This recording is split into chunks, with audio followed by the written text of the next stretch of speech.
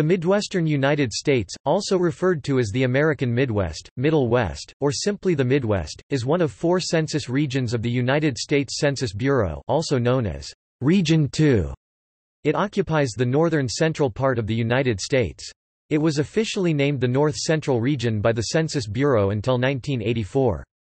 It is located between the northeastern United States and the western United States, with Canada to its north and the southern United States to its south. The Census Bureau's definition consists of 12 states in the north-central United States, Illinois, Indiana, Iowa, Kansas, Michigan, Minnesota, Missouri, Nebraska, North Dakota, Ohio, South Dakota, and Wisconsin. The region generally lies on the broad interior plain between the states occupying the Appalachian Mountain Range and the states occupying the Rocky Mountain Range. Major rivers in the region include, from east to west, the Ohio River, the Upper Mississippi River, and the Missouri River. A 2012 report from the United States Census put the population of the Midwest at 65,377,684. The Midwest is divided by the Census Bureau into two divisions. The East-North Central Division includes Illinois, Indiana, Michigan, Ohio, and Wisconsin, all of which are also part of the Great Lakes region. The West-North Central Division includes Iowa, Kansas, Minnesota, Missouri, North Dakota, Nebraska, and South Dakota, several of which are located, at least partly, within the Great Plains region. Chicago is the most populous city in the American Midwest and the third most populous in the entire country. Other large Midwestern cities include in order by population, Columbus, Indianapolis, Detroit, Milwaukee, Kansas City, Omaha, Minneapolis, Wichita, Cleveland, St. Louis, St. Paul, Cincinnati, Madison, and Des Moines. Chicago and its suburbs form the largest metropolitan statistical area with 9.9 million people, followed by Metro Detroit, Minneapolis-St. Paul, Greater St. Louis, Greater Cleveland, Greater Cincinnati, the Kansas City metro area, and the Columbus metro area. Topic. Background The term Midwestern has been in use since the 1880s to refer to portions of the central United States.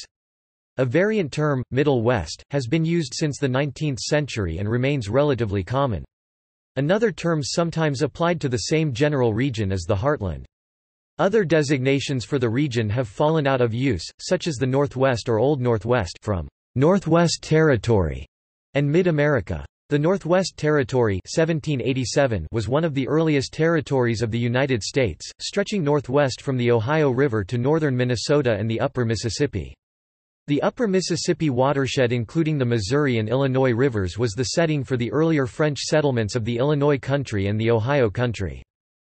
Economically the region is balanced between heavy industry and agriculture large sections of this land area make up the United States Corn Belt, with finance and services such as medicine and education becoming increasingly important. Its central location makes it a transportation crossroads for river boats, railroads, autos, trucks, and airplanes.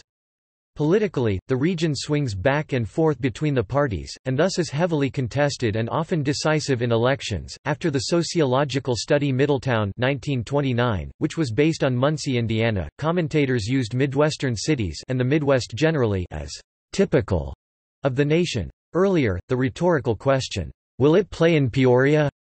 had become a stock phrase using Peoria, Illinois to signal whether something would appeal to mainstream America. The region has a higher employment to population ratio the percentage of employed people at least 16 years old than the Northeast, the West, the South, or the Sun Belt states as of 2011. Definition Traditional definitions of the Midwest include the Northwest Ordinance Old Northwest states and many states that were part of the Louisiana Purchase. The states of the Old Northwest are also known as Great Lakes states and are east-north-central in the United States. The Ohio River runs along the southeastern section while the Mississippi River runs north to south near the center. Many of the Louisiana Purchase states in the west north-central United States, are also known as Great Plains states, where the Missouri River is a major waterway joining with the Mississippi. The Midwest lies north of the 36 degrees 30 parallel that the 1820 Missouri Compromise established as the dividing line between future slave and non-slave states. The Midwest region is defined by the US Census Bureau as these 12 states. Illinois, Old Northwest, Mississippi River Missouri River joins near the state border, Ohio River, and Great Lakes State Indiana, Old Northwest, Ohio River, and Great Lakes State Iowa, Louisiana Purchase, Mississippi River, and Missouri River State Kansas, Louisiana Purchase, Great Plains, and Missouri River State Michigan, Old Northwest and Great Lakes State Minnesota, Old Northwest, Louisiana Purchase, Mississippi River, part of Red River Colony before 1818, Great Lakes State Missouri, Louisiana Purchase, Mississippi River Ohio River joins near the state border, Missouri River, and Border State Nebraska, Louisiana Purchase, Great Plains, and Missouri River State. North Dakota, Louisiana Purchase, part of Red River Colony before 1818, Great Plains, and Missouri River State. Ohio, Old Northwest historic Connecticut Western Reserve, Ohio River, and Great Lakes State. The southeastern part of the state is part of northern Appalachia. South Dakota, Louisiana Purchase, Great Plains, and Missouri River State Wisconsin, Old Northwest, Mississippi River, and Great Lakes State. Various organizations define the Midwest with slightly different groups of states. For example, the Council of State Governments, an organization for communication and coordination among state governments, includes in its Midwest Regional Office 11 states from the above list, omitting Missouri, which is in the CSG South region. The Midwest region of the National Park Service consists of these 12 states plus the state of Arkansas. The Midwest Archives Conference, a professional archives organization, with hundreds of archivists, curators, and information professionals as members, covers the above 12 states plus Kentucky. Physical geography The vast central area of the U.S., into Canada, is a landscape of low, flat to rolling terrain in the interior plains. Most of its eastern two-thirds form the interior lowlands. The lowlands gradually rise westward, from a line passing through eastern Kansas, up to over 5,000 feet 1,500 meters in the unit known as the Great Plains. Most of the Great Plains area is now farmed, while these states are for the most part relatively flat, consisting either of plains or of rolling and small hills, there is a measure of geographical variation. In particular, the following areas exhibit a high degree of topographical variety, the eastern Midwest near the foothills of the Appalachian Mountains, the Great Lakes Basin, the Ozark Mountains of southern Missouri, the rugged topography of southern Indiana and southern Illinois, and the driftless area of northwestern Illinois, southwestern Wisconsin, southeastern Minnesota, and northeastern Iowa. Proceeding westward, the Appalachian Plateau topography gradually gives way to gently rolling hills and then in central Ohio to flat lands converted principally to farms and urban areas. This is the beginning of the vast interior plains of North America. As a result, prairies cover most of the Great Plains states. Iowa and much of Illinois lie within an area called the Prairie Peninsula, an eastward extension of prairies that borders conifer and mixed forests to the north, and hardwood deciduous forests to the east and south. Geographers subdivide the interior plains into the interior lowlands and the Great Plains on the basis of elevation. The lowlands are mostly below 1,500 feet 460 meters above sea level whereas the Great Plains to the west are higher, rising in Colorado to around 5,000 feet 1,500 meters. The lowlands, then, are confined to parts of Minnesota, Iowa, Michigan, Ohio, Indiana, Tennessee, and Kentucky. Missouri and Arkansas have regions of lowlands elevations, but in the Ozarks within the interior highlands are higher. Those familiar with the topography of eastern Ohio may be confused by this, that region is hilly, but its rocks are horizontal and are an extension of the Appalachian Plateau. The interior plains are largely coincident with the vast Mississippi River drainage system other major components are the Missouri and Ohio rivers. These rivers have for tens of millions of years been eroding downward into the mostly horizontal sedimentary rocks of Paleozoic, Mesozoic, and Cenozoic ages. The modern Mississippi River system has developed during the Pleistocene epoch of the Cenozoic. Rainfall decreases from east to west, resulting in different types of prairies, with the tallgrass prairie in the wetter eastern region, mixed grass prairie in the central Great Plains, and shortgrass prairie towards the rain shadow of the Rockies. Today, these three prairie types largely correspond to the corn, soybean area, the wheat belt, and the western rangelands, respectively. Although hardwood forests in the northern Midwest were clear-cut in the late 19th century, they were replaced by new growth. Ohio and Michigan's forests are still growing. The majority of the Midwest can now be categorized as urbanized areas or pastoral agricultural areas. Pre-Columbian history Among the American Indians Paleo-Indian cultures were the earliest in North America, with a presence in the Great Plains and Great Lakes areas from about 12,000 BCE to around 8000 BCE. Following the Paleo-Indian period is the Archaic period 8000 BCE to 1000 BCE, the Woodland tradition 1000 BCE to 100 CE, and the Mississippian period 900 to 1500 CE.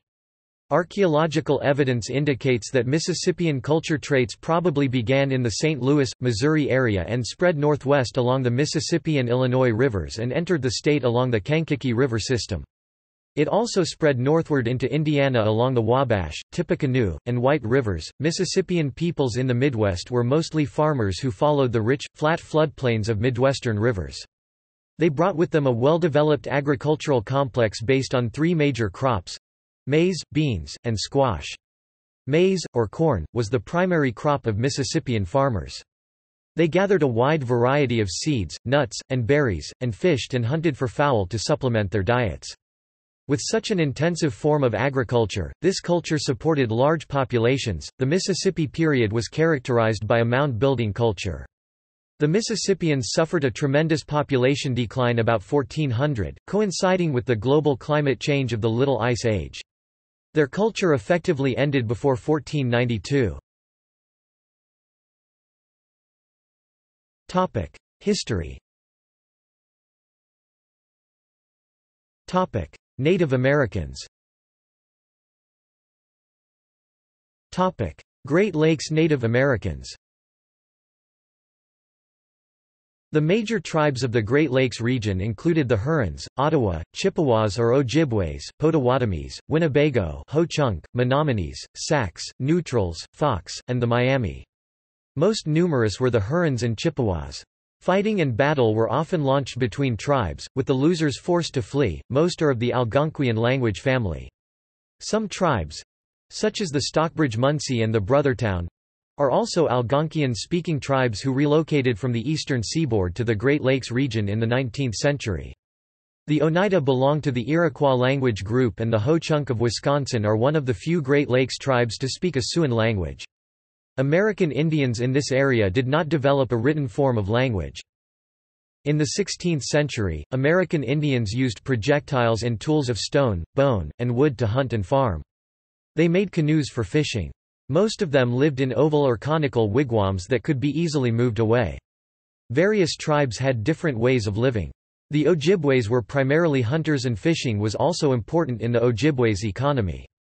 Other tribes such as Sac, Fox, and Miami, both hunted and farmed, they were oriented toward the open prairies where they engaged in communal hunts for buffalo bison. In the northern forests, the Ottawas and Potawatomis separated into small family groups for hunting. The Winnebagos and Menominees used both hunting methods interchangeably and built up widespread trade networks extending as far west as the Rockies, north to the Great Lakes, south to the Gulf of Mexico, and east to the Atlantic Ocean. The Hurons reckoned descent through the female line, while the others favored the patrilineal method. All tribes were governed under chiefdoms or complex chiefdoms. For example, Hurons were divided into matrilineal clans, each represented by a chief in the town council, where they met with a town chief on civic matters. But Chippewa people's social and political life was simpler than that of settled tribes, the religious beliefs varied among tribes. Hurons believed in Yoskaha, a supernatural being who lived in the sky and was believed to have created the world and the Huron people.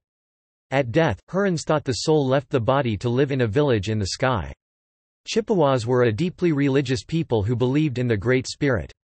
They worshipped the Great Spirit through all their seasonal activities, and viewed religion as a private matter. Each person's relation with his personal guardian spirit was part of his thinking every day of life. Ottawa and Potawatomi people had very similar religious beliefs to those of the Chippewas. In the Ohio River Valley, the dominant food supply was not hunting but agriculture. There were orchards and fields of crops that were maintained by the Indian women. Corn was their most important crop. Great Plains Indians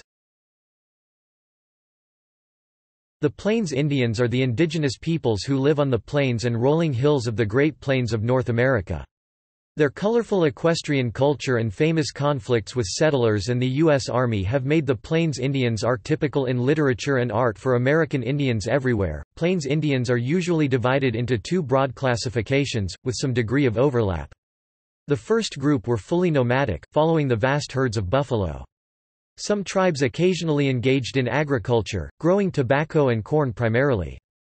These included the Blackfoot, Arapaho, Assiniboine, Cheyenne, Comanche, Crow, Gros Ventre, Kiowa, Lakota, Lipan, Plains Apache or Kiowa Apache, Plains Cree, Plains Ojibwe, Sarsi, Shoshone, Stony, and Tonkawa. The second group of Plains Indians, sometimes referred to as Prairie Indians, were the semi-sedentary tribes who, in addition to hunting buffalo, lived in villages and raised crops. These included the Arikara, Hidatsa, Iowa, Kaw or Kansa, Kitsai, Mandan, Missouri, Nez Perce, Omaha, Osage, Oto, Pawnee, Ponca, Quapaw, Santee, Wichita, and Yankton. The nomadic tribes of the Great Plains survived on hunting, some of their major hunts centered on deer and buffalo. Some tribes are described as part of the buffalo culture sometimes called, for the American bison. Although the Plains Indians hunted other animals, such as elk or antelope, bison was their primary game food source. Bison flesh, hide, and bones from bison hunting provided the chief source of raw materials for items that Plains Indians made, including food, cups, decorations, crafting tools, knives, and clothing. The tribes followed the bison's seasonal grazing and migration. The Plains Indians lived in teepees because they were easily disassembled and allowed the nomadic life of following game. When Spanish horses were obtained, the Plains tribes rapidly integrated them into their daily lives. By the early 18th century, many tribes had fully adopted a horse culture. Before their adoption of guns, the Plains Indians hunted with spears, bows, and bows and arrows, and various forms of clubs. The use of horses by the Plains Indians made hunting and warfare much easier. Among the most powerful and dominant tribes were the Dakota or Sioux, who occupied large amounts of territory in the Great Plains of the Midwest. The area of the Great Sioux Nation spread throughout the South and Midwest, up into the areas of Minnesota and stretching out west into the Rocky Mountains. At the same time, they occupied the heart of prime buffalo range, and also an excellent region for furs they could sell to French and American traders for goods such as guns. The Sioux Dakota became the most powerful of the Plains tribes and the greatest threat to American expansion. The Sioux comprise three major divisions based on Siouan dialect and subculture. Isayathi or Isathi knife, residing in the extreme east of the Dakotas, Minnesota and northern Iowa, and are often referred to as the Santee or Eastern Dakota. Ihocthuwa and Ihocthuana village at the end, and little village at the end, Residing in the Minnesota River area, they are considered the Middle Sioux, and are often referred to as the Yankton and the Yanktonai, or, collectively, as the Wichiena or the Western Dakota and have been erroneously classified as Nakota. Thithua or Teton uncertain, the westernmost Sioux, known for their hunting and warrior culture, are often referred to as the Lakota. Today, the Sioux maintain many separate tribal governments scattered across several reservations, communities, and reserves in the Dakotas, Nebraska, Minnesota, and Montana in the United States, as well as Manitoba and southern Saskatchewan in Canada. European exploration and early settlement New France European settlement of the area began in the 17th century following French exploration of the region and became known as New France. The French period began with the exploration of the St. Lawrence River by Jacques Cartier in 1534 and ending with their expulsion by the British, who split New France with Spain in 1763. Marquette and Joliet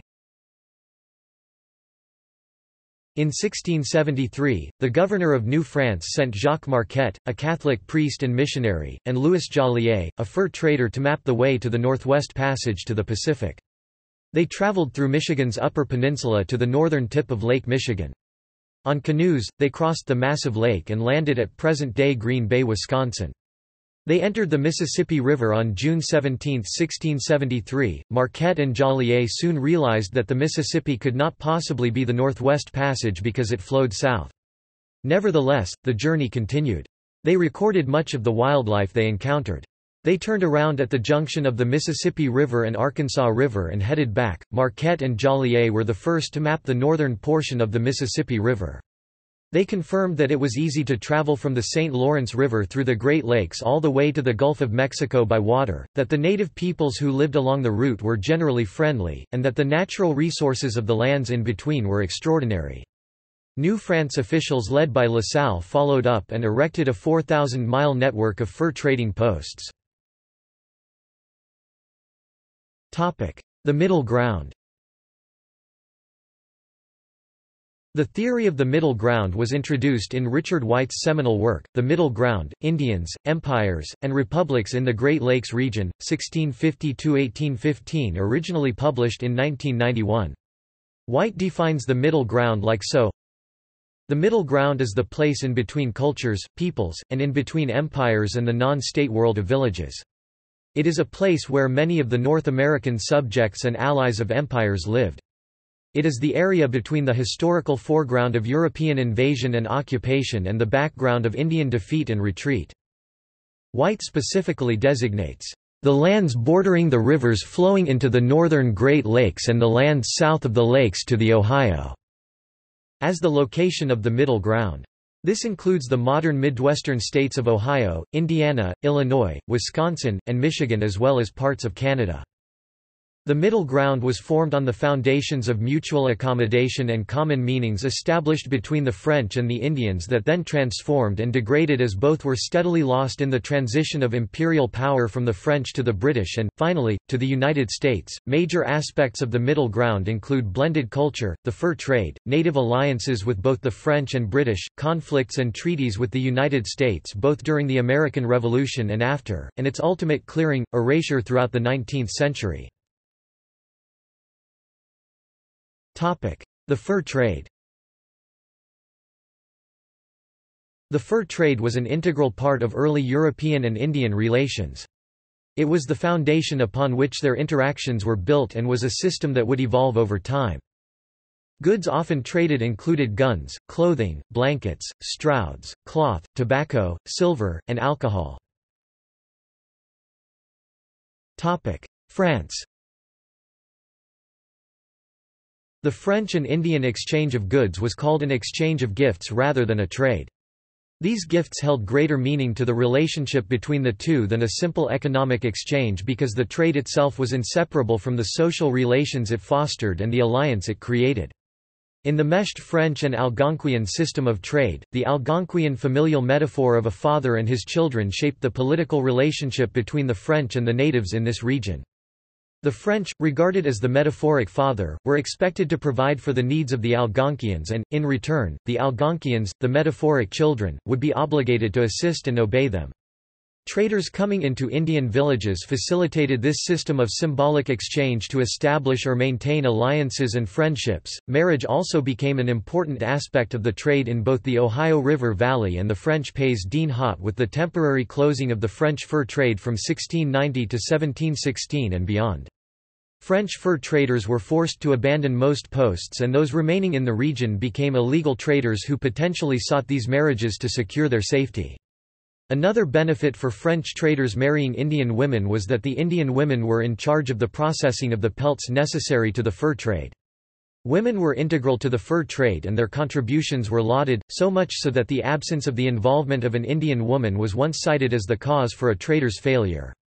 When the French fur trade reopened in 1716 upon the discovery that their overstock of pelts had been ruined, legal French traders continued to marry Indian women and remain in their villages. With the growing influence of women in the fur trade also came the increasing demand of cloth which very quickly grew to be the most desired trade good. Britain Great Britain entered the Ohio country as a serious competitor in the fur trade around the 1690s. The British almost consistently offered the Indians better goods and better rates than the French and the Indians were able to play that to their advantage, throwing the French and the British into competition with each other to their own benefit. The Indian demand for certain kinds of cloth in particular fueled this competition. This, however, changed following the Seven Years' War with Britain's victory over France and the cession of New France to Great Britain. Britain tried to enforce imperialism over the Indians of the Pays d'en Haut and force the relationship between them into the roles of conqueror and subject and eliminated the practice of gift-giving. This, in combination with an underwhelming trade with too much whiskey, too high of prices, and not enough of anything else led to unrest among the Indians that was exacerbated by the decision to significantly cut down on the trade of rum, a product they had been pushing in the trade for years. This all would culminate in Pontiac's rebellion during 1763. Following the rebellion, the British, having failed to reduce the natives to subjects, were forced to compromise and loosely recreated a trade system that was an echo of the French one. American settlement While French control ended in 1763 after their defeat by Britain, most of the several hundred French settlers in small villages along the Mississippi River and its tributaries remained, and were not disturbed by the new British government. By the terms of the Treaty of Paris, Spain was given Louisiana, the area west of the Mississippi. St. Louis and Ste. Genevieve in Missouri were the main towns, but there was little new settlement. France regained Louisiana from Spain in exchange for Tuscany by the terms of the Treaty of San Ildefonso in 1800.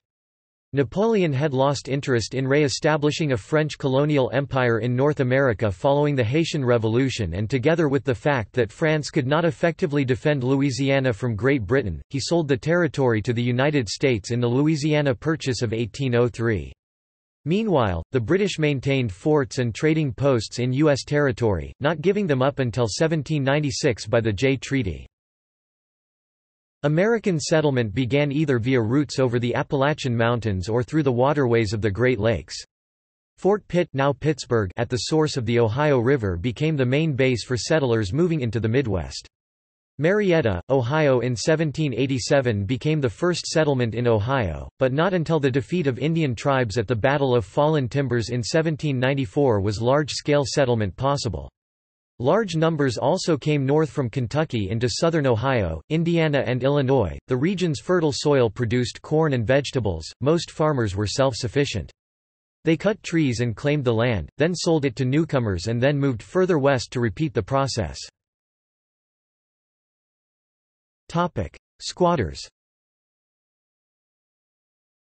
Illegal settlers, called squatters, had been encroaching on the lands now the Midwest for years before the founding of the United States of America, pushing further and further down the Ohio River during the 1760s and 1770s and inciting conflict and competition with the Native Americans whose lands they intruded on every step of the way. These squatters were characterized by British General, Thomas Gage, as too numerous, too lawless, and licentious ever to be restrained, and regarded them as almost out of reach of law and government. Neither the endeavors of government, or fear of Indians has kept them properly within bounds. When the American Revolution concluded and the formation of the United States of America began, the American government sought to evict these illegal settlers from areas that were now federally owned public lands.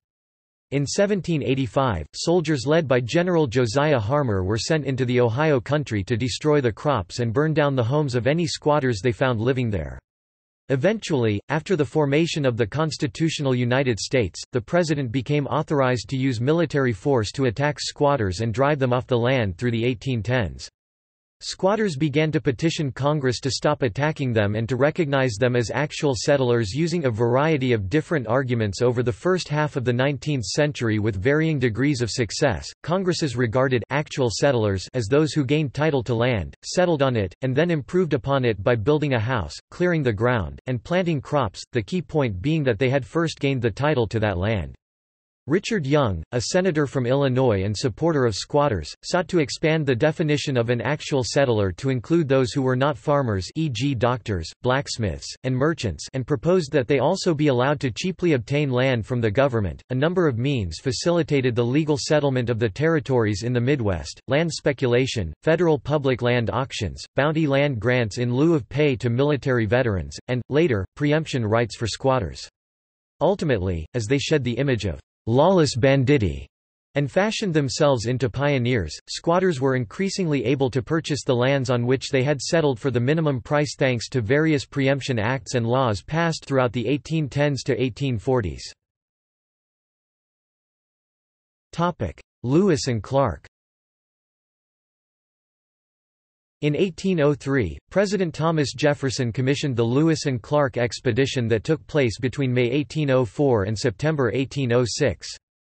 The goal was to explore the Louisiana Purchase, and establish trade and U.S. sovereignty over the native peoples along the Missouri River. The Lewis and Clark expedition established relations with more than two dozen indigenous nations west of the Missouri River. The expedition returned east to St. Louis in the spring of 1806. Indian Wars In 1791 General Arthur Street Clair became commander of the United States Army and led a punitive expedition with two regular Army regiments and some militia. Near modern-day Fort Recovery, his force advanced to the location of Indian settlements near the headwaters of the Wabash River, but on November 4 they were routed in battle by a tribal confederation led by Miami Chief Little Turtle and Shawnee Chief Blue Jacket. More than 600 soldiers and scores of women and children were killed in the battle, which has since borne the name, St. Clair's defeat. It remains the greatest defeat of a U.S. Army by Native Americans. The British had a long-standing goal of building a neutral but pro-British Indian buffer state in the American Midwest. They demanded a neutral Indian state at the peace conference that ended the War of 1812, but failed to gain any of it because they had lost control of the region in the Battle of Lake Erie and the Battle of the Thames in 1813, where Tecumseh was killed. The British then abandoned the Indians south of the lakes. The Indians were major losers in the War of 1812. Apart from the short Black Hawk War of 1832, the days of Indian warfare east of the Mississippi River had ended. Yankees and ethnocultural politics Yankee settlers from New England started arriving in Ohio before 1800, and spread throughout the northern half of the Midwest. Most of them started as farmers, but later the larger proportion moved to towns and cities as entrepreneurs, businessmen, and urban professionals. Since its beginnings in the 1830s, Chicago has grown to dominate the Midwestern metropolis landscape for over a century. Historian John Buenker has examined the worldview of the Yankee settlers in the Midwest, because they arrived first and had a strong sense of community and mission, Yankees were able to transplant New England institutions, values, and mores, altered only by the conditions of frontier life.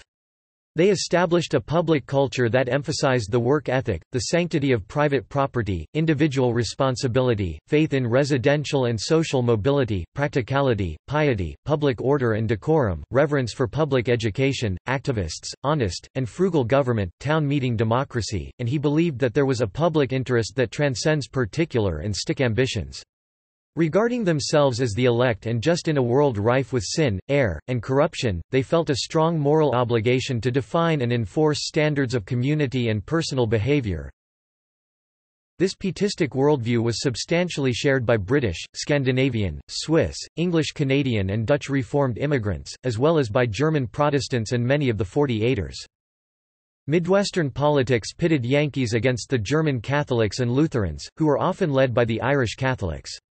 These large groups, Buenker argues, generally subscribed to the work ethic, a strong sense of community, and activist government, but were less committed to economic individualism and privatism and ferociously opposed to government supervision of the personal habits. Southern and Eastern European immigrants generally leaned more toward the Germanic view of things, while modernization, industrialization, and urbanization modified nearly everyone's sense of individual economic responsibility and put a premium on organization, political involvement, and education. Development of transportation. Waterways Three waterways have been important to the development of the Midwest. The first and foremost was the Ohio River, which flowed into the Mississippi River. Development of the region was halted until 1795 by Spain's control of the southern part of the Mississippi and its refusal to allow the shipment of American crops down the river and into the Atlantic Ocean. The second waterway is the network of routes within the Great Lakes. The opening of the Erie Canal in 1825 completed an all-water shipping route, more direct than the Mississippi, to New York and the seaport of New York City. In 1848, the Illinois and Michigan Canal breached the Continental Divide spanning the Chicago Portage and linking the waters of the Great Lakes with those of the Mississippi Valley and the Gulf of Mexico. Lakeport and river cities grew up to handle these new shipping routes. During the Industrial Revolution, the lakes became a conduit for iron ore from the Mesabi Range of Minnesota to steel mills in the mid-Atlantic states. The St. Lawrence Seaway 1862, widened 1959, opened the Midwest to the Atlantic Ocean. The third waterway, the Missouri River, extended water travel from the Mississippi almost to the Rocky Mountains. In the 1870s and 1880s, the Mississippi River inspired two classic books, Life on the Mississippi and Adventures of Huckleberry Finn written by native Missourian Samuel Clemens, who used the pseudonym Mark Twain. His stories became staples of Midwestern lore. Twain's hometown of Hannibal, Missouri, is a tourist attraction offering a glimpse into the Midwest of his time. Inland canals in Ohio and Indiana constituted another important waterway, which connected with Great Lakes and Ohio River traffic. The commodities that the Midwest funneled into the Erie Canal down the Ohio River contributed to the wealth of New York City, which overtook Boston and Philadelphia. Railroads and the automobile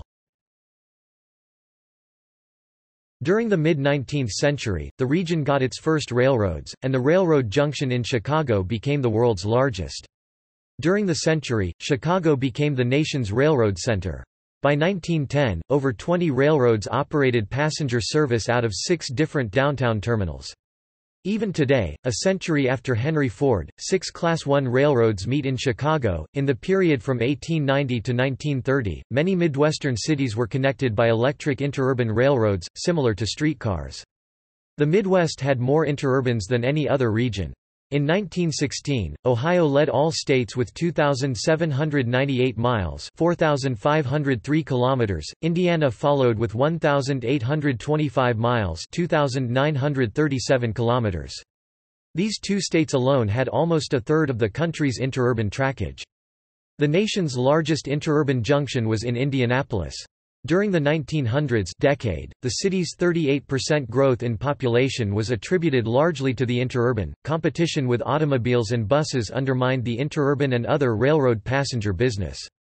By 1900, Detroit was the world center of the auto industry, and soon practically every city within 200 miles was producing auto parts that fed into its giant factories. In 1903, Henry Ford founded the Ford Motor Company.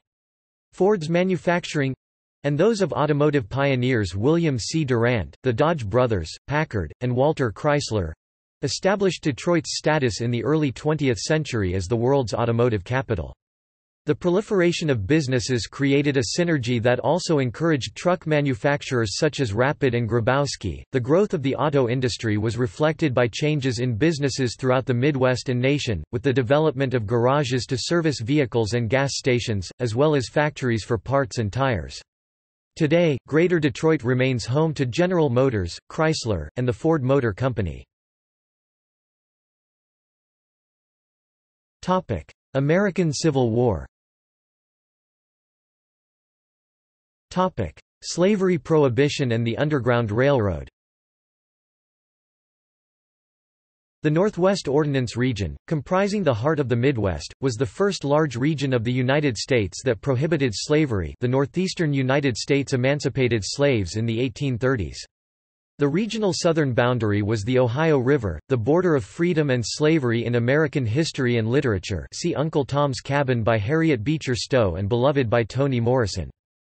The Midwest, particularly Ohio, provided the primary routes for the Underground Railroad, whereby Midwesterners assisted slaves to freedom from their crossing of the Ohio River through their departure on Lake Erie to Canada. Created in the early 19th century, the Underground Railroad was at its height between 1850 and 1860. One estimate suggests that by 1850, 100,000 slaves had escaped via the Underground Railroad. The Underground Railroad consisted of meeting points, secret routes, transportation, and safe houses and assistance provided by abolitionist sympathizers. Individuals were often organized in small, independent groups, this helped to maintain secrecy because individuals knew some connecting stations along the route, but knew few details of their immediate area. Escaped slaves would move north along the route from one way station to the next. Although the fugitives sometimes traveled on boat or train, they usually traveled on foot or by wagon. The region was shaped by the relative absence of slavery except for Missouri, pioneer settlement, education in one-room free public schools, democratic notions brought by American Revolutionary War veterans, Protestant faiths and experimentation, and agricultural wealth transported on the Ohio River riverboats, flatboats, canal boats, and railroads. Topic: Bleeding Kansas The first violent conflicts leading up to the Civil War occurred between two neighboring Midwestern states, Kansas and Missouri, involving anti-slavery free staters and pro-slavery border ruffian elements, that took place in the Kansas Territory and the western frontier towns of Missouri roughly between 1854 and 1858. At the heart of the conflict was the question of whether Kansas would enter the Union as a free state or slave state. As such, Bleeding Kansas was a proxy war between Northerners and Southerners over the issue of slavery. The term, Bleeding Kansas, was coined by Horace Greeley of the New York Tribune. The events it encompasses directly presage the Civil War. Setting in motion the events later known as Bleeding Kansas was the Kansas-Nebraska Act.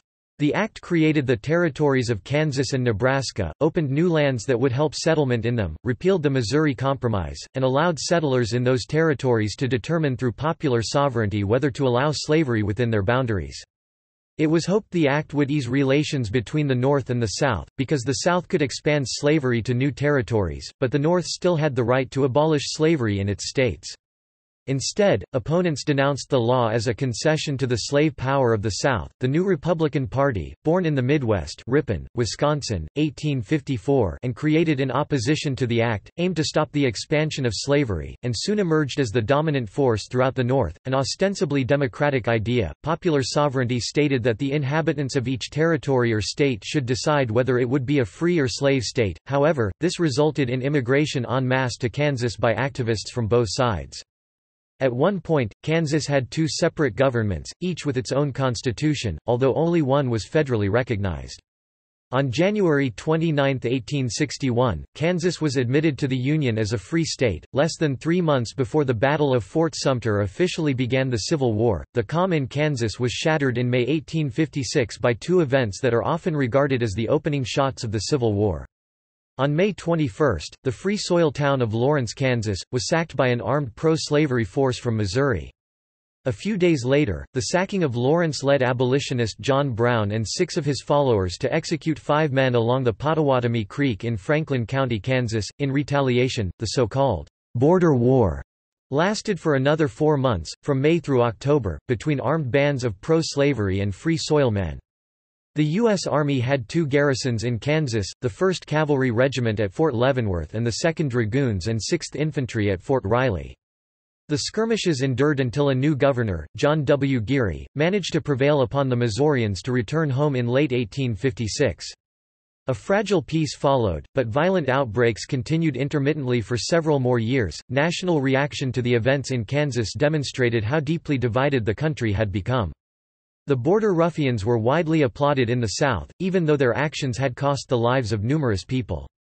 In the North, the murders committed by Brown and his followers were ignored by most, and lauded by a few. The civil conflict in Kansas was a product of the political fight over slavery.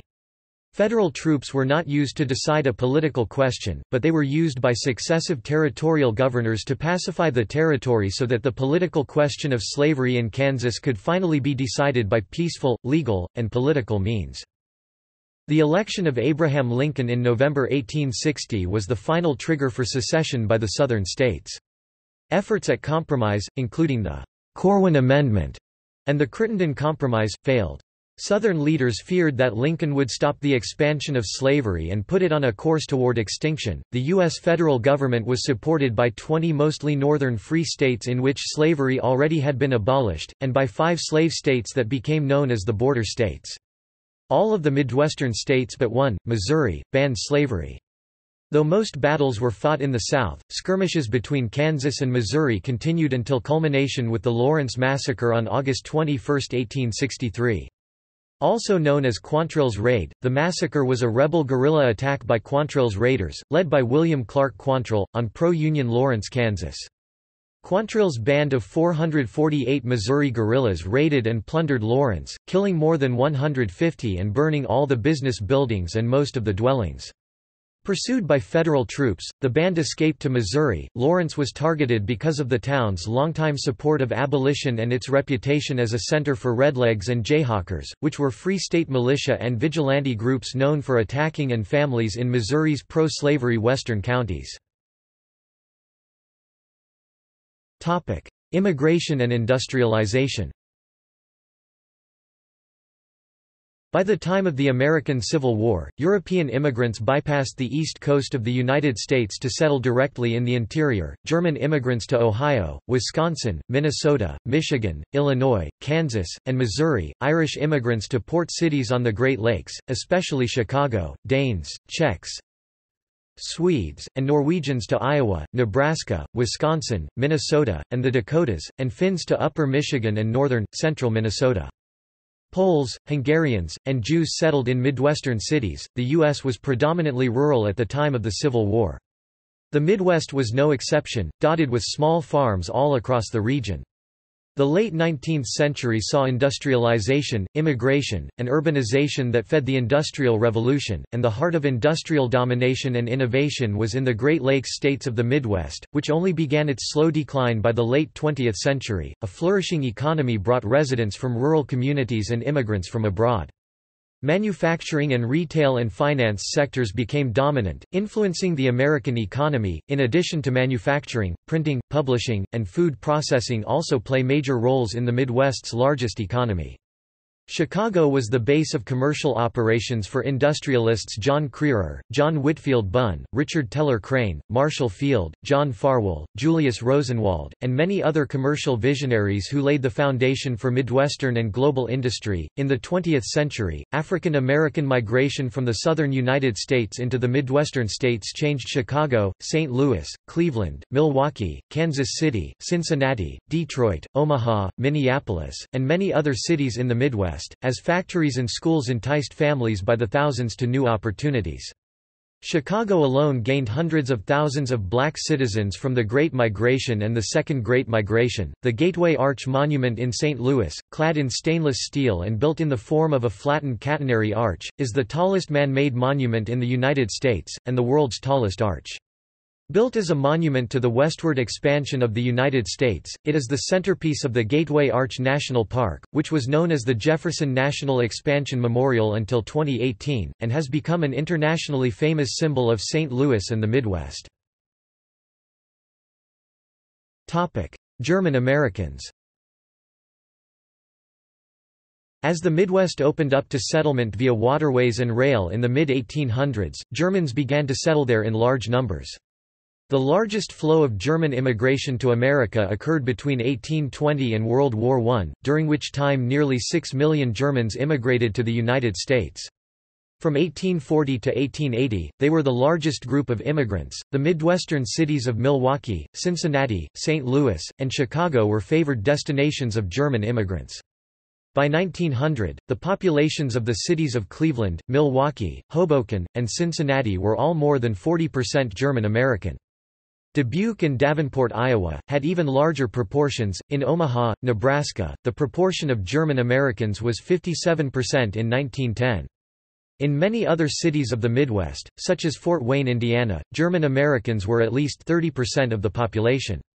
Many concentrations acquired distinctive names suggesting their heritage, such as the Over the Rhine district in Cincinnati and German Village in Columbus, Ohio, a favorite destination was Milwaukee, known as the German Athens.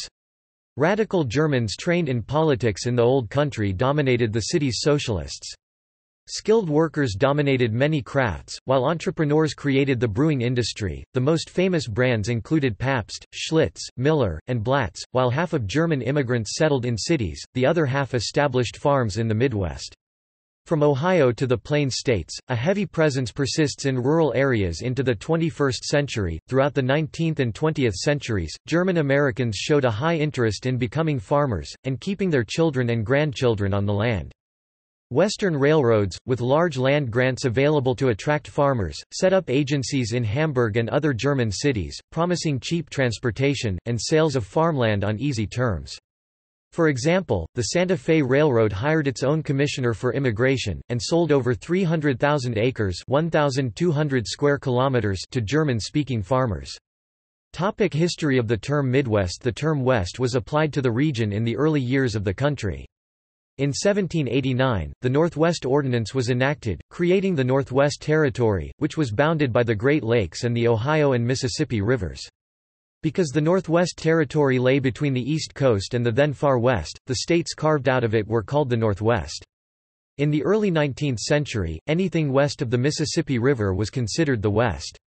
The first recorded use of the term Midwestern to refer to a region of the central U.S. occurred in 1886, Midwest appeared in 1894, and Midwesterner in 1916. Following the settlement of the Western Prairie, some considered the row of states from North Dakota to Kansas to be part of the Midwest. The states of the Old Northwest are now called the East North Central States by the United States Census Bureau, and the Great Lakes region is also a popular term. The states just west of the Mississippi River and the Great Plains states are called the West North Central States by the Census Bureau. Some entities in the Midwest are still referred to as Northwest for historical reasons for example, Northwestern University in Illinois. Topic economy Topic Farming and agriculture Agriculture is one of the biggest drivers of local economies in the Midwest, accounting for billions of dollars worth of exports and thousands of jobs. The area consists of some of the richest farming land in the world. The region's fertile soil combined with the steel plow has made it possible for farmers to produce abundant harvests of grain and cereal crops, including corn, wheat, soybeans, oats, and barley, to become known today as the nation's breadbasket. Farms spread from the colonies westward along with the settlers. In cooler regions, wheat was often the crop of choice when lands were newly settled, leading to a wheat frontier that moved westward over the course of years. Also very common in the antebellum Midwest was farming corn while raising hogs, complementing each other especially since it was difficult to get grain to market before the canals and railroads. After the wheat frontier had passed through an area, more diversified farms including dairy and beef cattle generally took its place. The very dense soil of the Midwest plagued the first settlers who were using wooden plows, which were more suitable for loose forest soil. On the prairie, the plows bounced around and the soil stuck to them.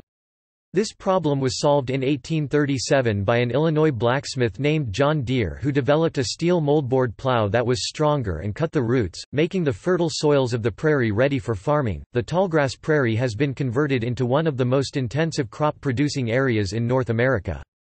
Less than one-tenth of 1%. The introduction and broad adoption of scientific agriculture since the mid-19th century contributed to economic growth in the United States. This development was facilitated by the Morrill Act and the Hatch Act of 1887 which established in each state a land-grant university with a mission to teach and study agriculture and a federally funded system of agricultural experiment stations and cooperative extension networks which place extension agents in each state. Iowa State University became the nation's first designated land-grant institution when the Iowa legislature accepted the provisions of the 1862 Morrill Act on September 11, 1862, making Iowa the first state in the nation to do so. The Corn Belt is a region of the Midwest where corn has, since the 1850s, been the predominant crop, replacing the native tall grasses. The Corn Belt Region is defined typically to include Iowa, Illinois, Indiana, southern Michigan, western Ohio, eastern Nebraska, eastern Kansas, southern Minnesota, and parts of Missouri. As of 2008, the top four corn-producing states were Iowa, Illinois, Nebraska, and Minnesota, together accounting for more than half of the corn grown in the United States. The Corn Belt also sometimes is defined to include parts of South Dakota, North Dakota, Wisconsin, and Kentucky. The region is characterized by relatively level land and deep, fertile soils, high in organic matter. Former Vice President Henry A. Wallace, a pioneer of hybrid seeds, declared in 1956 that the Corn Belt developed the most productive agricultural civilization the world has ever seen. Today, the U.S. produces 40% of the world crop. Iowa produces the largest corn crop of any state. In 2012, Iowa farmers produced 18.3% of the nation's corn, while Illinois produced 15.3%.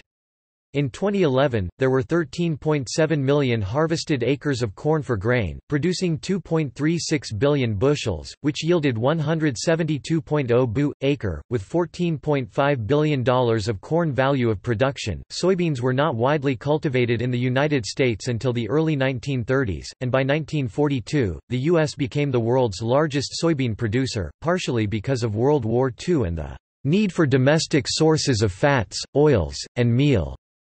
Between 1930 and 1942, the United States' share of world soybean production skyrocketed from 3% to 46.5%, largely as a result of increase in the Midwest, and by 1969, it had risen to 76%.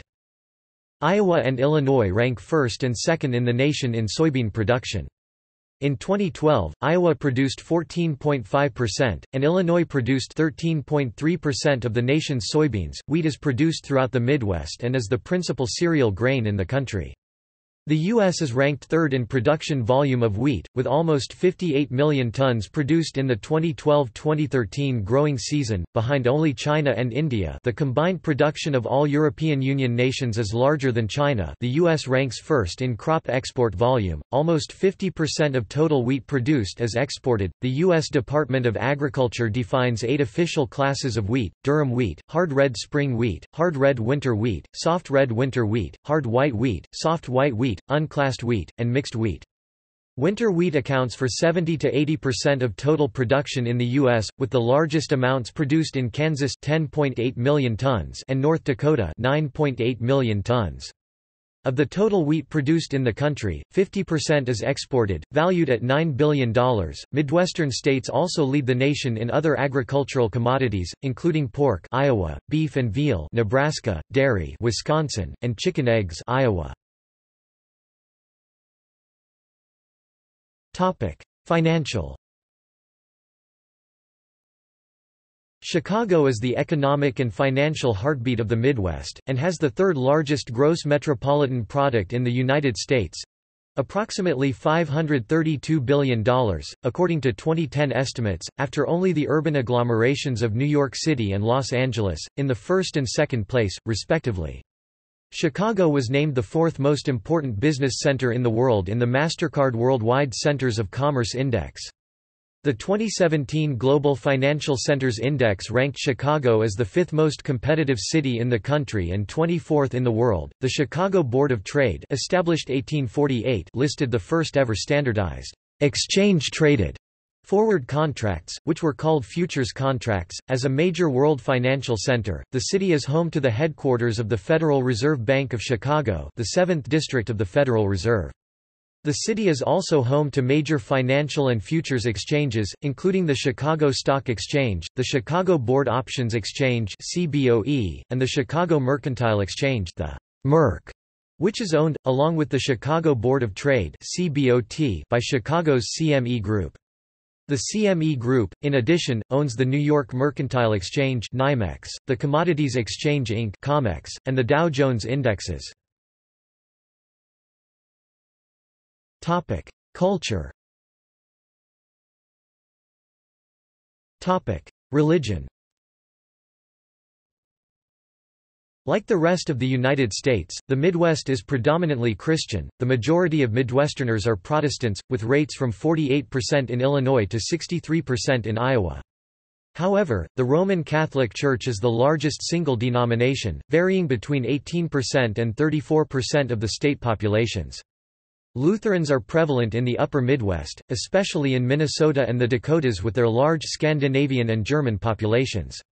Southern Baptists compose about 15% of Missouri's population, but much smaller percentages in other Midwestern states. Judaism and Islam are collectively practiced by 2% of the population, with higher concentrations in major urban areas. 35% of Midwesterners attend religious services every week, and 69% attend at least a few times a year. People with no religious affiliation make up 22% of the Midwest's population. Topic: Education. Many Midwestern universities, both public and private, are members of the Association of American Universities AAU, a bi-national organization of leading public and private research universities devoted to maintaining a strong system of academic research and education. Of the 62 members from the U.S. and Canada, 16 are located in the Midwest, including private schools Northwestern University, Case Western Reserve University, the University of Chicago, and Washington University in St. Louis. Member public institutions of the AAU include the University of Illinois at Urbana-Champaign, Indiana University Bloomington, the University of Iowa, Iowa State University, the University of Kansas, the University of Michigan, Michigan State University, the University of Minnesota, the University of Missouri, the Ohio State University, Purdue University, and the University of Wisconsin-Madison. Other notable major research-intensive public universities include the University of Cincinnati, Kansas State University, and the University of Nebraska-Lincoln. Numerous state university systems have established regional campuses statewide. The numerous state teachers' colleges were upgraded into state universities after 1945. Other notable private institutions include the University of Notre Dame, John Carroll University, St. Louis University, Loyola University Chicago, DePaul University, Creighton University, Drake University, Marquette University, and Xavier University. Local boosters, usually with a church affiliation, created numerous colleges in the mid-19th century. In terms of national rankings, the most prominent today include Carleton College, Denison University, DePauw University, Earlham College, Grinnell College, Hamline University, Kalamazoo College, Kenyon College, Knox College, Macalester College, Lawrence University, Oberlin College, St. Olaf College, Wheaton College, and the College of Wooster. Topic music The heavy German immigration played a major role in establishing musical traditions, especially choral and orchestral music. Czech and German traditions combined to sponsor the polka. The African American migration from the South brought jazz to the Midwest, along with blues and rock and roll, with major contributions to jazz, funk, and R&B, and even new subgenres such as the Motown sound and techno from Detroit or house music from Chicago.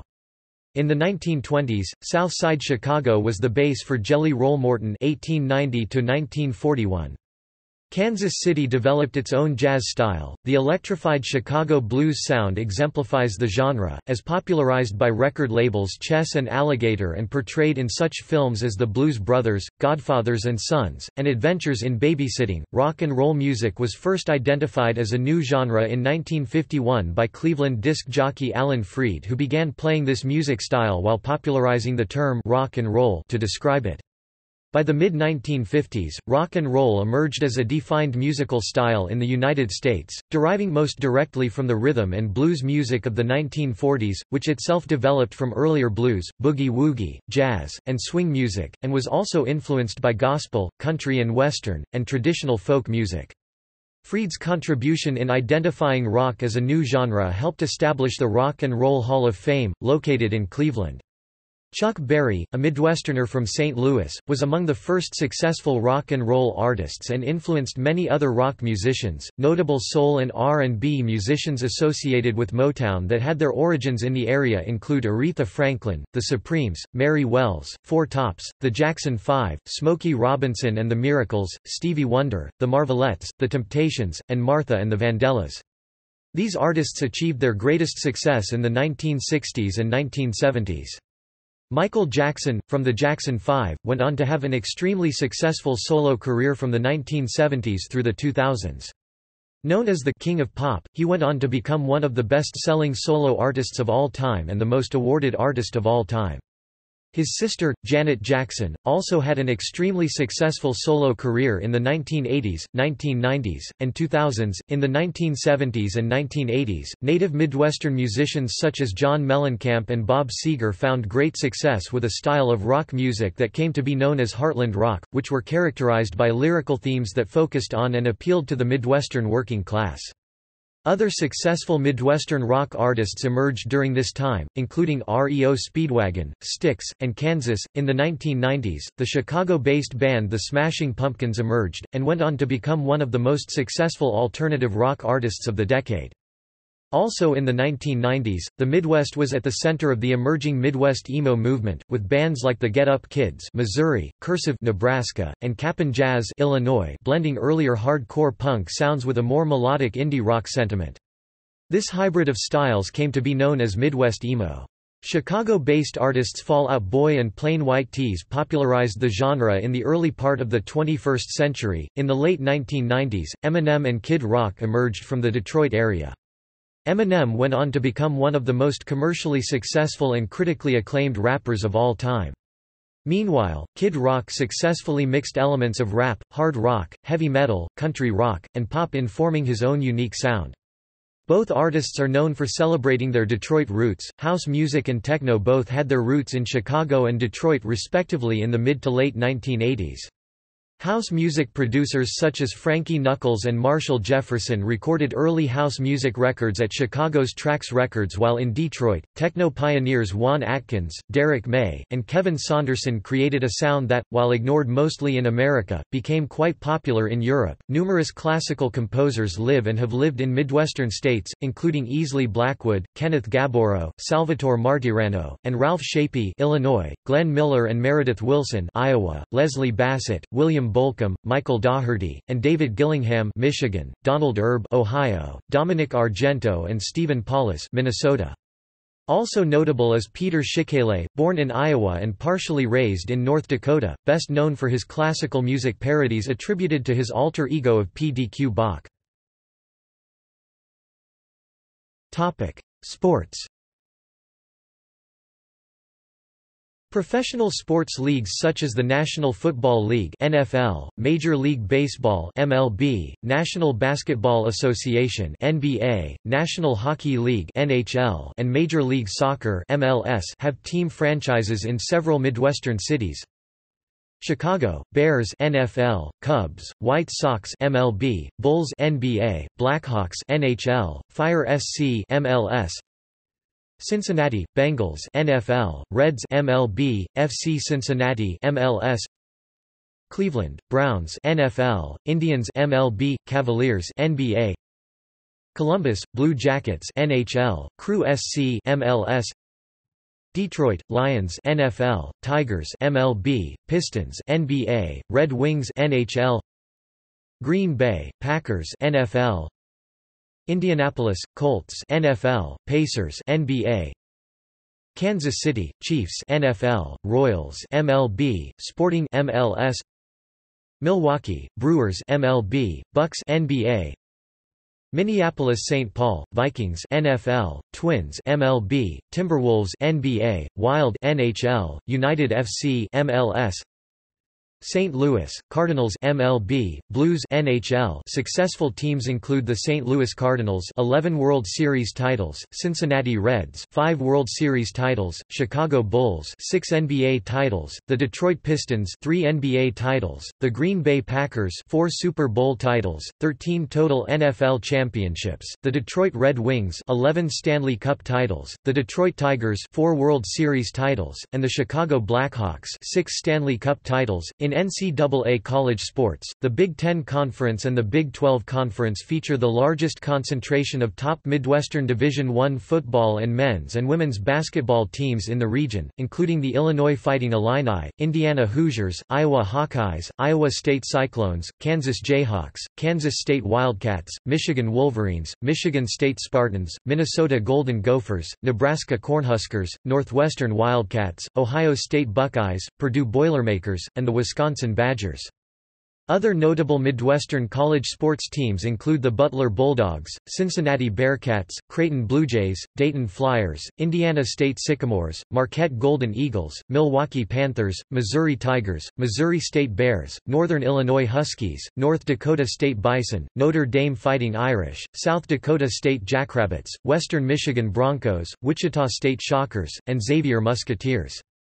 Of this second group of schools, Butler, Dayton, Indiana State, Missouri State, and South Dakota State do not play top-level college football all playing in the second-tier Division I FCS, and Creighton, Marquette, Milwaukee, Wichita State and Xavier do not sponsor football at all. The Milwaukee Mile hosted its first motor race in 1903, and is one of the oldest tracks in the world.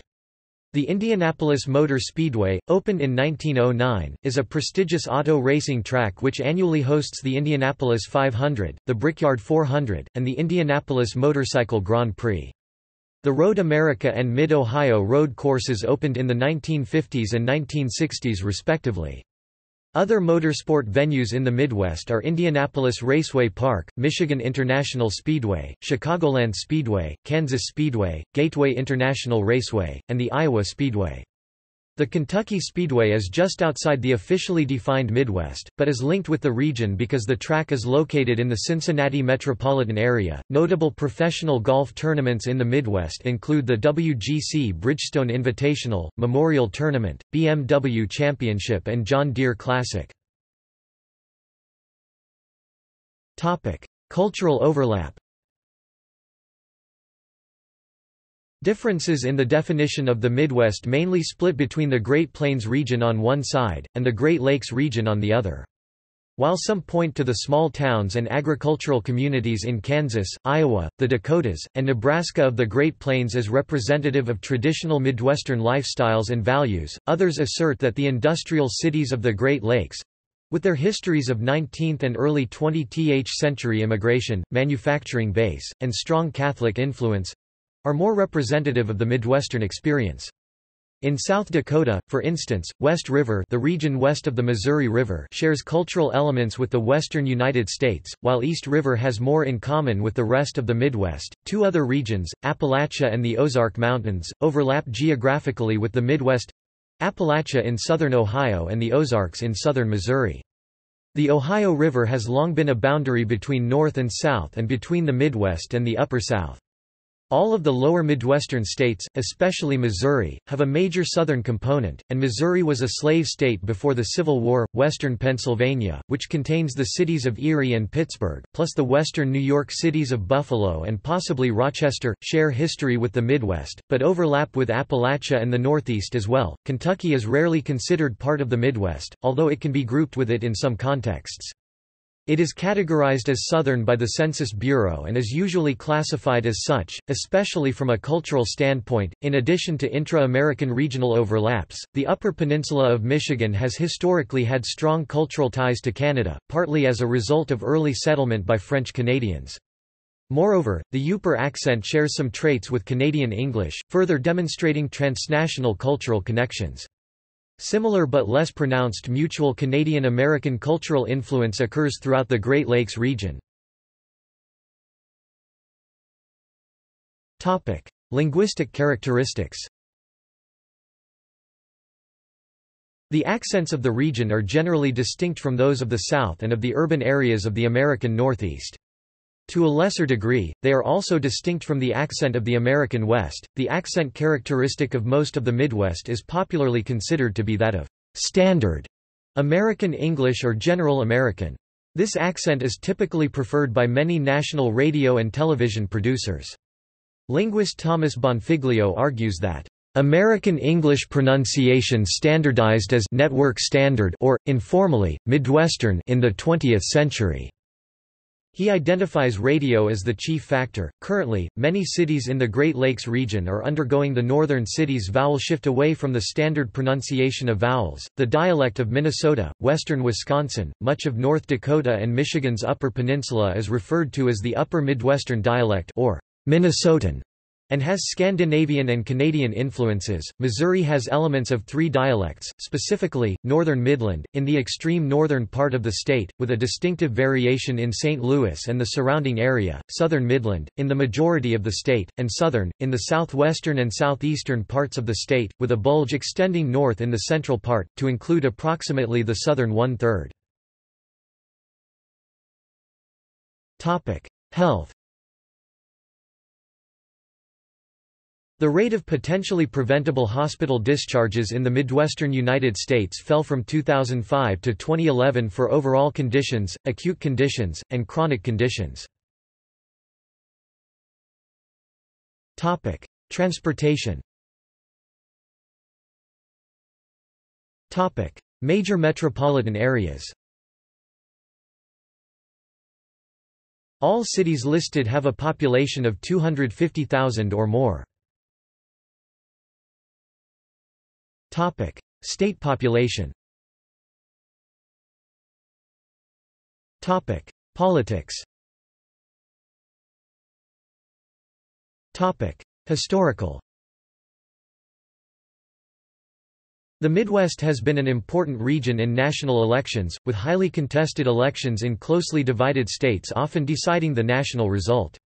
In 1860–1920, both parties often selected either their president or vice president from the region. One of the two major political parties in the United States, the Republican Party, originated in the Midwest in the 1850s. Ripon, Wisconsin had the first local meeting while Jackson, Michigan had the state-county meeting of the new party. Its membership included many Yankees who had settled the upper Midwest. The party opposed the expansion of slavery and stressed the Protestant ideals of thrift, a hard work ethic, self reliance, democratic decision making, and religious tolerance. In the early 1890s, the wheat growing regions were strongholds of the short lived populist movement in the Plains states. Starting in the 1890s, the middle class urban progressive movement became influential in the region, as it was in other regions, with Wisconsin a major center. Under the La Follettes Wisconsin fought against the GOP bosses and for efficiency, modernization, and the use of experts to solve social, economic, and political problems. Theodore Roosevelt's 1912 Progressive Party had the best showing in this region, carrying the states of Michigan, Minnesota, and South Dakota. In 1924, La Follette Sr.'s 1924 Progressive Party did well in the region, but only carried his home base of Wisconsin. The Midwest especially the areas west of Chicago, has always been a stronghold of isolationism, a belief that America should not involve itself in foreign entanglements. This position was largely based on the many German American and Swedish American communities. Isolationist leaders included the La Follettes, Ohio's Robert A. Taft, and Colonel Robert McCormick, publisher of the Chicago Tribune. Recent trends As of 2016, the Midwest is home to several critical swing states that do not have a strong allegiance to either the Democratic or Republican Party including Iowa and Ohio. Upper Midwestern states of Illinois, Michigan, Minnesota, and Wisconsin reliably voted Democratic in every presidential election from 1992 to 2012. The Great Plains states of North Dakota, South Dakota, Nebraska, and Kansas have voted for the Republican candidate in every presidential election since 1940, except for Democrat Lyndon B. Johnson in 1964. Indiana is usually considered a Republican stronghold, voting that party's presidential candidate in every election since 1940, except for Johnson in 1964 and Barack Obama in 2008. As a result of the 2016 elections, Republicans now control the governor's office in all Midwestern states except Minnesota. Republicans also control every partisan state legislature in the Midwest except Illinois. The unicameral Nebraska legislature is officially nonpartisan. The state government of Illinois is currently divided between Republican Governor Bruce Rauner and Democratic supermajorities and in the state House and state Senate. The state currently has two Democratic senators, and an 11 to 7 Democratic majority U.S. House of Representatives delegation. Many analysts consider Iowa the most evenly divided state in the country, but it has leaned Democratic for at least the past 15 years. Iowa had a Democratic governor from 1999 until Terry Branstad was re-elected in the mid-term elections in 2010, and has had both one Democratic and one Republican senator since the early 1980s until the 2014 election when Republican Joni Ernst defeated Democrat Bruce Braley in a tightly contested race. As for Iowa's House delegation, Republicans currently hold a 3 to 1 seat majority. Between 1992 and 2012, Iowa also voted for the Democratic presidential candidate in all elections except 2004, but in 2016 the state went to the Republicans by 10 percentage points.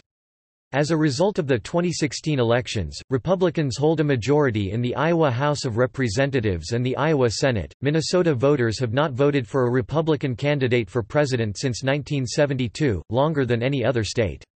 Minnesota was the only U.S. state along with Washington, D.C. to vote for its native son Walter Mondale over Ronald Reagan in 1984. However, the recent Democratic victories have often been fairly narrow, such as the 2016 presidential election. Minnesota also elected and re-elected a Republican governor, Tim Pawlenty, as well as supported some of the strongest gun concealment laws in the nation. Republicans currently hold control of both houses of the Minnesota state legislature. Consistently, Ohio is a battleground state in presidential elections. No Republican has won the office without winning Ohio. This trend has contributed to Ohio's reputation as a quintessential swing state. At the state level, however, Republicans are currently dominant. With the exception of one justice of the Supreme Court of Ohio, all political offices open to statewide election are held by Republicans. Republicans have a majority in the Ohio House of Representatives and a supermajority in the Ohio Senate. At the federal level, Ohio currently has one Democratic and one Republican U.S. Senator. As a result of the 2012 elections, 12 of Ohio's 16 members of the U.S. House of Representatives are Republicans. The Great Plains states of North Dakota, South Dakota, Nebraska, and Kansas have been strongholds for the Republicans for many decades. These four states have gone for the Republican candidate in every presidential election since 1940, except for Lyndon B. Johnson's landslide over Barry Goldwater in 1964. Although North Dakota and South Dakota have often elected Democrats to Congress, after the 2012 election both states' congressional delegations are majority Republican. Nebraska has elected Democrats to the Senate and as governor in recent years, but both of its senators are Republican. Kansas has elected a majority of Democrats as governor since 1956, but has not elected a Democratic senator since 1932.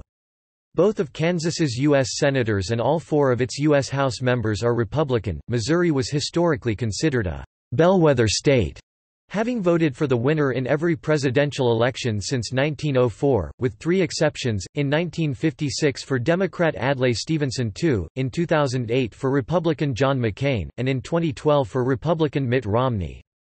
Missouri's House delegation has generally been evenly divided, with the Democrats holding sway in the large cities at the opposite ends of the state, Kansas City and St. Louis although the Kansas City suburbs are now trending Republican, and the Republicans controlling the rest of the state, save for a pocket of Democratic strength in Columbia, home to the University of Missouri. However, as a result of the 2012 elections, Republicans now have a 6–2 majority in the state's House delegation, with African American Democrats representing the major cities. Missouri's Senate seats were mostly controlled by Democrats until the latter part of the 20th century, but the Republicans have held one or both Senate seats continuously since 1976. All Midwestern states use primary election to select delegates for both the Democratic and Republican national conventions, except for Iowa and Minnesota.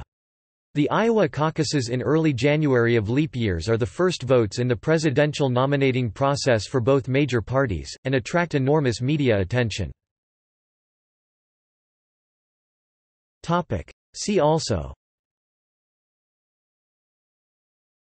Midwestern United States portal Cuisine of the Midwestern United States Territories of the United States on stamps Topic. Bibliography Frederick, John T., ed. Out of the Midwest, A Collection of Present-Day Writing 1944. Topic. References Topic. Further reading Aley, Ginette et al., eds.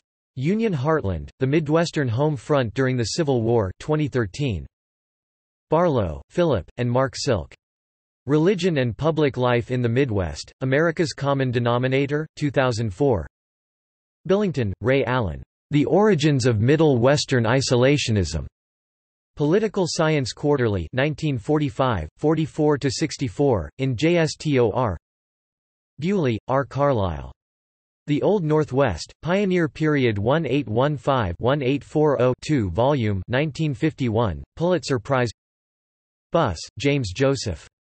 Winning the West with Words, Language and Conquest in the Lower Great Lakes University of Oklahoma Press, 2011 Cayton, Andrew R. L. Midwest and the Nation 1990 Cayton, Andrew R. L. and Susan E. Gray, eds.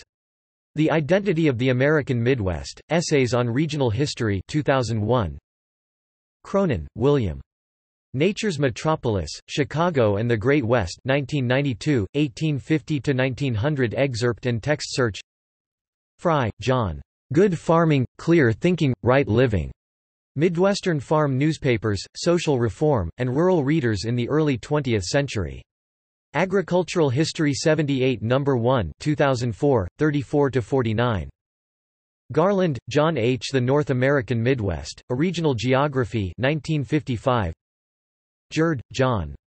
Minds of the West, Ethnocultural Evolution in the Rural Middle West, 1830–1917 1999 excerpt and text search High, Steven C. Industrial Sunset, The Making of North America's Rust Belt, 1969–1984 Toronto, 2003 Jensen, Richard. The Winning of the Midwest, Social and Political Conflict, 1888–1896 1971 online free Jordan, Philip D. Ohio Comes of Age, 1873–1900 Volume 5 1968 online Longworth, Richard C. Caught in the Middle, America's Heartland in the Age of Globalism 2008. Meyer, David R. Midwestern Industrialization and the American Manufacturing Belt in the Nineteenth Century. The Journal of Economic History, Volume 49, No. 4 December 1989 pp. 921-937.injstor Nelson, Daniel. Farm and Factory, Workers in the Midwest 1880–1990 1995. Nordin, Dennis S., and Roy V. Scott. From Prairie Farmer to Entrepreneur, The Transformation of Midwestern Agriculture, 2005-356 pp. Nye, Russell B. Midwestern Progressive Politics 1959. Page, Brian, and Richard Walker. From Settlement to Fordism, The Agro-Industrial Revolution in the American Midwest. Economic Geography 1991, 281–315, in JSTOR Scheiber, Harry N. ed. The Old Northwest, Studies in Regional History, 1787-1910-1969-16 essays by scholars on economic and social topics Shannon, Fred A. The Status of the Midwestern Farmer in 1900. The Mississippi Valley Historical Review. Volume 37, No. 3. December 1950, pp. 491–510, in JSTOR Shortridge, James R. The Middle West, Its Meaning in American Culture 1989. Sisson, Richard, Christian Zacher, and Andrew Cayton, eds. The American Midwest, An Interpretive Encyclopedia Indiana University Press, 2006, 1916 pp of articles by scholars on all topics covering the Twelve States Slade, Joseph W. and Judith Lee. The Midwest, The Greenwood Encyclopedia of American Regional Cultures 2004. Sleeper Smith, Susan. Indigenous Prosperity and American Conquest, Indian Women of the Ohio River Valley, 1690–1792 The Omohundro Institute of Early American History and Culture, 2018 Ford, John C. Cities of the Heartland, The Rise and Fall of the Industrial Midwest 1993. Tucker, Spencer, ed. American Civil War, a state-by-state -state encyclopedia 2 volume, 2015 1019 pp excerpt White, Richard.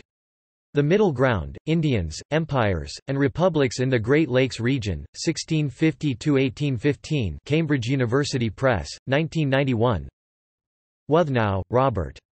Remaking the Heartland, Middle America since the 1950s Princeton University Press, 2011 358 pages Historiography Brown, David S. Beyond the Frontier, The Midwestern Voice in American Historical Writing 2009. Good, David F. American History Through a Midwestern Lens. Wirtschaft und Gesellschaft 38.2 2012, 435 plus online Lauck, John K. The Lost Region, Toward a Revival of Midwestern History University of Iowa Press, 2013 166 pages, criticizes the neglect of the Midwest in contemporary historiography and argues for a revival of attention. External links Archives of photo images, Upper Midwest